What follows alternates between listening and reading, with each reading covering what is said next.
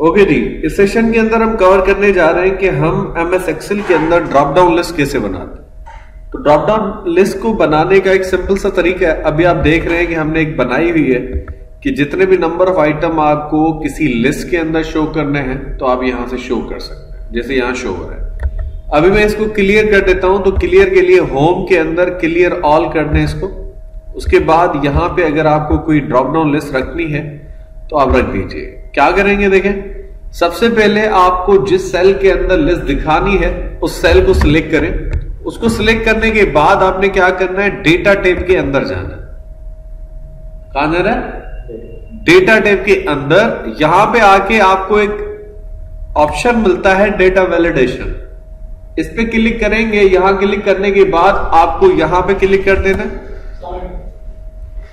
ठीक है? उसके बाद आपने यहाँ पे देखिए क्या शो हो? रहा है एनी वैल्यू अब आपको एनी वैल्यू पे क्लिक नहीं करना, आपको यहाँ पे जाके लिस्ट पे क्लिक करना ठीक है? लिस्ट पे क्लिक करने के बाद आपसे ये पूछ रहा है सोर्स कि एक्चुअल में ये लिस्ट जिससे आप बनाना चाहते हैं, वो तकरीबन आइटम है कहाँ? तो आपने इसको सोर्स को यहाँ पे क्लिक करना और सिर्फ़ और सिर्फ़ आइटम वो आपको सिलेक्ट करके देने उसकी वैल्यूज़ नहीं। क्योंकि मैं ये आइटम दिखाना चाहता हूँ किसमें? उस लिस्ट के अंदर। यही है ना? ये करने के बाद आपने फिर से इस रेड जो है वो ट्रिगर पे क्लिक करना है और ओके कर देना। आप जैसे ही ओके करेंगे तो इस लिस्ट के अंदर तकरीबन वो आइटम इंक्लूड हो चुके हैं। और सब क्लियर हो गया?